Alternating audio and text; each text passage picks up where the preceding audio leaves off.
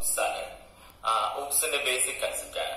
ഈ ചാപ്റ്ററിൽ നിന്ന് ചോദിക്കുന്ന ചോദ്യം ചോദ്യങ്ങൾക്ക് ഉത്തരം വളരെ ലളിതാണ് ആ ഊപ്സിന്റെ കൺസെപ്റ്റ് എഴുതി വേണ്ടു ആ ഊപ്സിന്റെ കൺസെപ്റ്റ് എങ്ങനെ എഴുതാം? എങ്ങനെ എഫക്റ്റീവ് ആയിട്ട് അതിന് മാർക്ക് വാങ്ങിക്കാം എന്നുള്ളത് മാത്രമാണ് ഈ ചാപ്റ്ററിൽ ശ്രദ്ധിക്കേണ്ടത്. ഈ ചാപ്റ്ററിൽ ശ്രദ്ധിക്കേണ്ടത്. രണ്ടാം സ്ലൈഡിലേക്ക് പോകാം ഈ ഊപ്സിന്റെ കൺസെപ്റ്റ് ഇങ്ങനെ ഭംഗിയിൽ വട്ടത്തിലൊക്കെ വരച്ചു വെച്ചാൽ പെട്ടെന്ന് ആ, നോക്കുന്ന ഒരു ശ്രദ്ധയിൽപ്പെടും. അപ്പൊ ഇങ്ങനെ ഡാറ്റ അബ്സ്ട്രാക്ഷൻ